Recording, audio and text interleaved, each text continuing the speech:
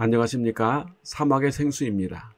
연단의 사람 야곱 이야기 이스라엘이 된 야곱 창세기 35장 9절에서 15절 말씀입니다. 우리가 1세대 신앙을 세우기 위해서는 약 30년이 걸린다는 것을 알게 됩니다. 아브라함도 75세에 하나님의 부르심을 받아 25년 만에 100세에 이삭을 낳고 야곱은 차자로서 장자권을 얻어서 비로소 하나님에게 이스라엘이라 인정을 받고 1세대 신앙을 세우기까지 25년에서 30년 정도가 소요된 것을 볼 수 있습니다.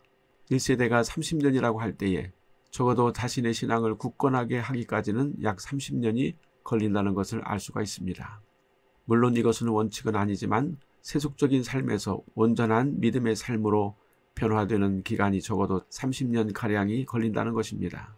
신앙이라는 것은 한 번 믿음으로 완성되는 것이 아니라 수많은 역경과 고난과 싸우며 믿음을 지킴으로 나중에는 흔들리지 않는 믿음이 되어지는데 그 기간이 약 30년 정도 될 것이라는 말입니다. 적어도 30년 동안 신앙을 굳게 유지할 때 내 자녀에게 믿음의 유산을 물려줄 수 있는 것입니다.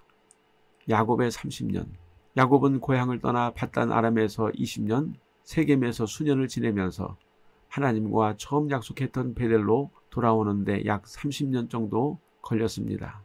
야곱이 다시 베델에 돌아오기까지 처절한 경험을 했는데 사랑스러운 딸 디나의 강간당함과 시몬과 레위의 대학살이었습니다. 야곱은 처절한 마음을 가지고 베델에 다시 돌아온 것입니다. 왜 그랬어야 할까요? 왜 사람은 그렇게 순순히 하나님 앞에 나오지 않을까요? 아픈 상처를 가지고 너무나 뼈아픈 고통을 당하고서야 정신을 차리니 말입니다. 물론 그러지 말아야 하지만 믿음은 아픈 만큼 성숙해지기 때문일까요? 아픈 상처를 처매고 하나님 앞에 나온 야곱에게 하나님은 야곱의 이름을 이스라엘이라고 바꾸어 주셨습니다. 물론 야곱이 형 에서의 문제 때문에 야복 강가에서 어떤 사람과 씨름하면서 축복하지 않으면 절대 놓아주지 않겠다고 할 때 그는 야곱에게 앞으로 내 이름을 이스라엘이라 부를 것이라고 말했습니다. 그러나 야곱은 베델로 돌아온다는 하나님과의 약속을 어김으로 씻을 수 없는 아픔을 당하게 되었고 결국 베델에 돌아와서 돌기둥에 기름을 붓고 여호와의 전이라 하며 단을 쌓았을 때 하나님은 야곱을 정식으로 이스라엘이라 명하시고 그와 그의 자녀들과 후손들에게 복을 주셨습니다. 명실공히 이스라엘의 믿음의 조상으로 인정받게 된 것입니다. 그 기간이 약 30여 년이 걸린 것입니다. 하나님은 야곱에게 내 이름이 야곱이지만은 내 이름을 다시는 야곱이라 부르지 않겠고 이스라엘이 내 이름이 되리라고 명하셨습니다. 야곱은 발뒤꿈치를 잡은 자, 속이는 자라는 뜻인데 하나님은 다시는 야곱이 꼼수를 부리거나 남의 복을 빼앗으려고 속이는 자가 되지 말라고 하시는 것입니다. 이스라엘, 이스라엘은 God prevails, God rules, 즉 하나님이 이기시고 하나님이 다스리신다는 뜻입니다. 야곱은 자신의 꼼수나 잔머리를 굴려서 하나님을 이겨먹으려고 했습니다. 밤새도록 야복 강가에서 어떤 사람과 싸웠을 때 야곱이 하나님과 겨루어서 이겼다고 했습니다. 야곱은 하나님과 싸워서 이긴 기쁨으로 분이엘이라고 그 장소를 불렀습니다. 야곱이 하나님과 싸워서 이기는 것이 얼마나 힘들고 괴롭고 비참한 일인가를 알지 못했습니다. 내 고집을 세우기 위해서 하나님의 뜻을 꺾는 것은 얼마나 어리석은 일인가요? 하나님의 뜻을 꺾고 내 욕심과 야망을 얻어내고 할렐루야를 외친다면 얼마나 기가 막힐까요? 야곱은 자기의 고집이나 야망을 관철시키는 것이 하나님의 뜻인 줄 알았습니다. 그런데 자기의 고집이나 야망을 관철시킨 결과가 바로 세겜의 비극이었던 것을 나중에야 처절하게 깨닫게 됩니다. 하나님께서 한 번쯤은 야곱의 고집을 들어주시는 이유는 하나님의 뜻보다 자기 고집을 세우는 일이 얼마나 비참한 결과를 가져오는가를 경험하게 하시려는 하나님의 뜻이었습니다. 참으로 비싸고도 아픈 수업료를 야곱이 치른 셈입니다. 그래서 하나님은 이제부터는 하나님이 너를 이길 것이다. 하나님이 너를 다스리실 것이다. 하는 뜻으로 이스라엘이라고 이름을 지어주신 것입니다. 기도는 하나님의 뜻을 꺾고 내 욕심을 관철시키는 것이 아니라 내가 철저히 하나님에게 정복당하고 하나님에게 다스림을 받는 것입니다. 참 믿음은 내가 하나님을 설득하는 것이 아니라 하나님에 의해서 내가 설득당하는 것이고 하나님이 나를 지배하시는 것입니다. 그래서 하나님의 뜻이 내 안에서 관철되어지도록 하는 것이 기도입니다. 기도를 잘못하는 성도는 그 뼈아프고도 비싼 수업료를 치르고서야 깨닫게 될 것입니다. 야곱은 약속을 받은 지 30년이 되어서야 비로소 하나님 앞에 자신을 꺾었습니다. 둘째로 아브라함과 이삭과 야곱의 복입니다. 하나님은 베델에서 단을 쌓은 야곱에게 아브라함에게 명했던 복을 그대로 위임하셨습니다.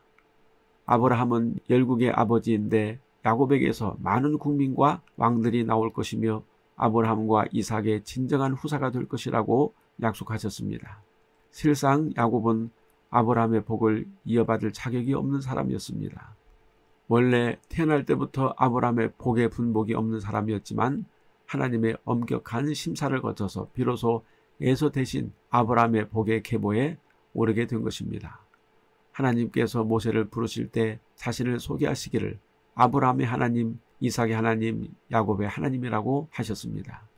야곱은 원래 분복이 없었지만 30년의 고난과 역경과 시련을 거쳐서 하나님의 공식적인 이름 앞에 붙는 세 사람의 믿음의 족장의 영광에 오르게 된 것입니다. 믿음의 시련을 거쳐서 그 믿음이 검증된 자만이 하나님의 영광에 오르게 되는 것입니다. 그러면 아브람과 이삭과 야곱의 복은 무엇일까요? 아브라함의 하나님은 그리스도를 약속하신 하나님이시고 이삭의 하나님은 그리스도를 속죄 제물로 주신 하나님이시고 야곱의 하나님은 그리스도를 닮게 하시는 하나님이십니다. 아브라함과 이삭과 야곱은 구원의 시작과 완성을 보여줍니다. 아브라함은 그리스도의 약속을 받아 얻어냈고 이삭은 그리스도의 희생을 재현했고 야곱은 그리스도를 닮아 성품이 변화되는 성화의 삶을 보여줍니다. 하나님께서 아브라함과 이삭과 야곱에게 주신 언약과 복은 바로 그리스도이신 것입니다. 야곱이 어떤 환란과 아픔과 고난 속에서도 그리스도를 붙잡음으로 성화되어져서 온전한 그리스도인으로 변화되어져 가는 과정을 겪게 됩니다. 야곱은 그의 원래 이름처럼 발뒤꿈치를 붙잡고 결코 놓지 않으므로 그리스도를 닮아서 성화된 모습을 보여주고 있습니다. 야곱의 아픔과 고통은 그를 변화시키는 촉매제와 같았습니다. 우리 성도들의 가장 큰 영광은 그리스도를 닮아가는 삶입니다. 어느 누구보다도 야곱은 극적으로 그 성품이 변화되어져 갑니다. 우리 그리스도인들은 야곱처럼 평생을 통해 온유한 성품으로 변화되어져 가야 합니다. 아무리 세상에서 자기 꿈과 야망을 이루었어도 그리스도를 닮아가지 않는 자는 하나님의 영광에 이를 수가 없습니다. 주님은 요한복음 12장 24절에서 내가 진실로 진실로 너희에게 이르노니 하늘의 밀이 땅에 떨어져 죽지 아니하면 하늘 그대로 있고 죽으면 많은 열매를 맺느니라고 했습니다. 우리가 어떻게 죽을까요? 우리가 그리스도를 닮아서 변화되어져 갈 때 하늘의 미랄이 되어 죽어서 많은 열매를 맺을 수 있는 것입니다. 야곱은 그리스도의 열매를 맺는 변화의 사명을 감당했던 것입니다. 야곱의 변화는 이스라엘의 열두 지파와 60만 대군을 이루어 출애굽하여 하나님의 약속의 땅 가나안을 향해서 가게 했던 것입니다. 셋째, 돌기둥을 세우고 기름을 부었습니다. 야곱은 그가 하나님에게 약속한 것처럼 하나님의 전을 세웠습니다. 하나님의 전을 세운다는 것은 믿음을 굳게 세운다는 뜻입니다. 비로소 야곱은 자기 마음대로 단을 쌓지 않고 하나님과 약속한 곳에 와서 단을 쌓았습니다. 믿음은 하나님의 뜻대로 단을 쌓는 것입니다. 자기의 의지대로 단을 쌓는 것은 믿음이 아니라 신념입니다. 야곱은 앞으로 어떤 역경과 어려움이 와도 오직 하나님의 뜻대로 단을 쌓아야 합니다. 다시는 인간의 신념이나 욕심 위에 단을 쌓아서는 안 됩니다. 주님은 어려운 중에서도 인내로서 하나님의 말씀을 충성스럽게 지킨 빌라델비아 교회에게 하나님의 성전의 기둥이 되게 하리라고 하셨습니다. 로마에서는 전쟁에서 승리하고 돌아오는 정복자의 이름과 전적을 큰 돌기둥에 새겼다고 합니다. 우리 주님은 인내로서 하나님의 말씀을 지키고 믿음의 단을 쌓은 성도를 하늘 예루살렘의 성전의 기둥으로 삼고 그 위에 하나님과 주님과 새 예루살렘의 이름을 새길 것이라고 약속하셨습니다. 주님은 인내로서 믿음을 세운 성도의 영혼에 그의 이름을 빛나는 보석으로 새기실 것입니다. 이것이 야곱이 베델에 돌아와서 단을 쌓은 후에 누릴 하나님의 영광스러운 언약이었습니다. 이렇게 빛나는 언약을 안고 야곱은 에브랏 언약의 주가 되시는 예수님이 육신으로 오실 베들레헴으로 가는 도중 그가 가장 사랑했던 아내 라헬을 잃었습니다.